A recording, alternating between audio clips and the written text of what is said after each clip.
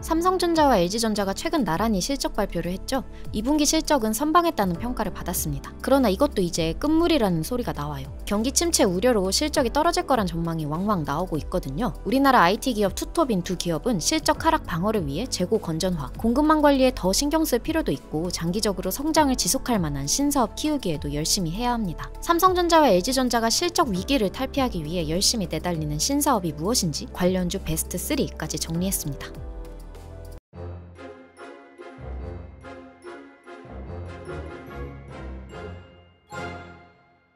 올해 2분기 삼성과 LG 실적만 놓고 보면 사실 나쁘진 않습니다. 삼성전자의 올해 2분기 매출액은 77조 원, 영업이익은 14조 원이었고 영업이익률은 18.18%를 거뒀죠. 매출은 분기 기준 역대 두 번째, 영업이익은 2분기 기준 세 번째로 좋은 실적을 기록했습니다. 그런데 삼성전자 주가는 여전히 신통치 않죠. 한때 52%였던 외국인 지분율도 연초 이후 계속 떨어지더니 요새는 49%대에 머무르고 있습니다. 외인 지분율 하락으로 8만 원대였던 주가도 현재는 5만 전자가 되었죠. 이런 상황은 LG전자 역시 마찬가지입니다. 가전은 LG라는 가전명과 명성이 아슬아슬합니다. 올해 2분기 실적을 보면 가전 부문은 H&A, HE 부문의 핵심 제품군인 냉장고, TV 수요가 좋지만은 않은 상황이죠. 두 사업부의 2분기 매출액 전망치가 각각 8조 5천억 원, 4조 1,900억 원이었는데 실제 발표된 매출액은 각각 8조 3조 6,500억 원에 그쳤습니다. 이렇게 주력 사업의 실적이 전망보다 안 나오자 최근 주가도 삼성과 마찬가지로 미끄럼틀을 탔습니다. 그래도 나온 실적만 놓고 보면 선방했어요. 이렇게까지 주가가 빠질 일은 아니었는데 말이죠. 그런데도 주가가 왜 못 따라갔는지 보면 일단 글로벌 경기 침체 분위기가 형성됐기 때문이죠. 삼성은 반도체, LG는 가전의 수요 감소가 걱정되는 분위기가 조성됐습니다. 코로나 터지고 전 세계 돈이 막 풀렸는데 코로나 끝물이 되니 인플레 우려가 나왔죠.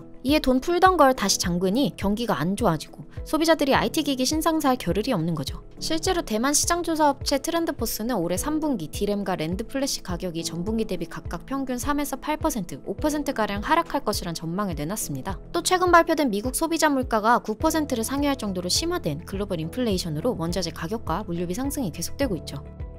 이렇게 reopening 이후 찾아올 글로벌 경기 침체 우려를 극복하기 위한 두 기업의 비장의 무기는 뭘까요? 뭐 여러 가지 있겠지만 중장기적 관점으로 로봇, 자동차 전장 등 연초부터 계속 얘기된 신사업을 빼놓을 수 없겠죠. 삼성과 LG 모두 로봇 산업에 주목하고 있다는 소식들이 계속 들려왔습니다. 고급 인력을 확보하거나 관련 기술을 모으고 사업 영역을 확장하려는 M&A 소식도 들립니다. 삼성전자부터 보시면 삼성은 로봇 시장 본격 진출을 위해 전장 사업 팀보다도 왜소했던 로봇 사업팀의 규모를 대폭 늘렸습니다. 12명이었던 사업부 인원이 130명이 됐어요. 10배 이상 늘린 거죠. 삼성은 기존 생활가전과 연결한 개인 맞춤형 서비스 로봇에 집중하고 있습니다. 올해 안으로 웨어러블 주행보조 로봇인 GEMS를 대당 수백만 원 수준에서 상용화한다는 계획도 밝혔고요. 음식 서빙용 로봇 삼성봇 서빙 외에 고객 응대용, 돌봄 로봇 등등을 차례로 시장에 내놓을 것으로 기대됩니다. LG전자도 로봇을 신성장 동력으로 선정하고 2020년 연말께 로봇사업센터를 비즈니스 솔루션 사업본부 내로 재편하기도 했죠. LG 역시 일상생활에서 쉽게 접할 수 있는 로봇에 사업 초점을 맞추는 모습입니다. 가이드봇, 서브봇, 셰프봇, 바리스타봇, 살균봇 등 로봇 라인업을 지속적으로 늘려왔죠. 이런 라인업을 바탕으로 LG전자는 호텔, 병원, 식음료 기업 등 B2B 기반으로 로봇 사업을 더욱 강화할 예정입니다. 하지만 로봇은 아직 의미 있는 매출을 거두기에는 너무 시장 초기, 사업 초기인 상황이죠. 이보다 더 빠르게 매출 확대를 이룰 수 있는 또 다른 신사업이 있는데 바로 전장입니다. 실제 매출에 기여하고 있기도 하고요. 삼성전자는 M&A로 얻어낸 하만을 통해 디지털 cockpit 사업에 집중하고 있고요. 주력 상품인 반도체를 중심으로 자동차 전장 사업 확대를 모색하려 합니다. LG전자의 경우 VS 사업본부, LG 마그나 e파워트레인, ZKW 전장 사업 3대 축을 갖고 있습니다. 인포테인먼트, 동력 전달 장치, 촬영용 조명까지 전장 사업 포트폴리오를 다각화해 수주를 확대해 왔는데요. 2분기 LG전자는 전장 사업에서 최초로 440억 원이라는 영업이익을 기록해 수익성 개선에 성공한 모습도 보였죠. 이 로봇, 자동차 전장이라는 신사업은 코로나19를 기점으로 본격 확산된 자동화, 친환경 트렌드의 편승에 빠르게 시장이 열리고 있는데요. 두 신시장이 예상대로 규모가 커진다면 현재 두 기업 모두 보유하고 있는 관련 계열사, 예를 들어 LG이노텍, 삼성전기 등은 일단 수혜를 누릴 수밖에 없겠죠. 특히 이 두 기업 모두 카메라 모듈 생산이 주력인데요. 이 부품은 로봇, 자율주행, 자동차 전장 사업에는 빼놓을 수 없는 부품입니다. 카메라 모듈 시장이 2025년에 600달러, 약 75조 원에 육박할 거란 전망만 봐도 알 수 있죠. 두 번째로 뜰 관련 분야는 바로 로봇 감속기입니다.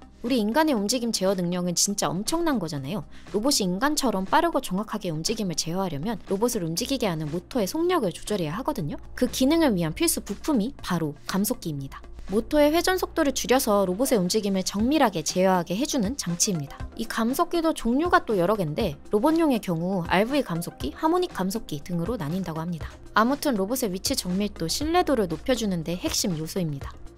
그럼 이런 로봇이나 전장에 꼭 들어가야 하는 필수 부품을 만드는 수혜주 세 종목만 알아보겠습니다. 먼저 가장 유명한 LG 이노텍입니다. LG 이노텍은 아이폰, 애플카, 테슬라 키워드에 모두 연결된 몇 안 되는 대형 우량주죠. 2020년 매출액 기준 사업 부문별 매출과 영업이익 비중은 광학 솔루션이 71%, 기판소재가 13%, 전장 부품 12%, 전자 부품 4%, 기타 순입니다. LG 이노텍은 주력 사업인 카메라 모듈 사업을 기반으로 향후 LG그룹이 다채롭게 추진 중인 전장 부품 사업으로의 확장도 꾀할 수 있다는 장점이 있습니다. LG그룹의 전체 신성장 동력과 맞닿아 있는 핵심 계열사 중 하나로 보시면 되죠. 이미 이 회사는 북미 지역 최대 전기차 업체를 포함해 15개 이상 자동차 기업의 전장용 카메라와 자율주행 부품을 공급 중입니다. 이런 포트폴리오를 가지고 있으니 향후 애플카 공급망에 이름을 올릴 가능성도 아주 높은 것으로 점쳐지고 있죠. 테슬라에 애플 키워드까지 관련되면서 LG 이노텍의 올해 실적 컨센서스는 원래 매출액 14조 4천억 원, 영업이익 1조 3천오백억 원 정도였는데 지금은 매출액 17조 원, 영업 이익 1조 7천오백억 원으로 상향 조정될 정도입니다. 관련주 두 번째는 SPG입니다. 이 회사는 앞서 소개한 로봇 감속기 시장에서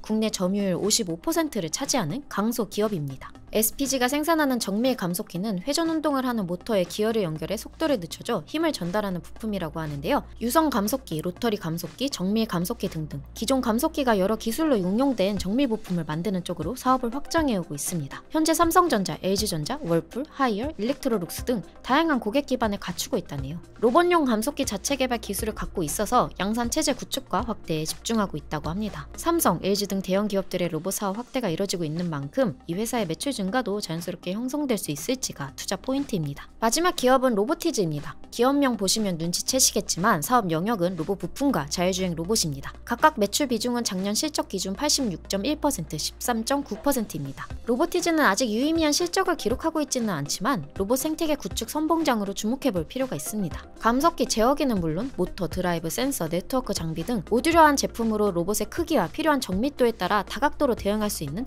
100여 개 이상의 제품군을 보유한 게 강점입니다. 이제 막 뜨는 기업이라 증권가의 올해 실적 전망치 보시면 매출액은 270억 원 정도, 영업 손실 8억 원인데요. 자율주행 로봇 사업은 지금 수익 확대를 기대하기는 약간 어려운 상황이죠.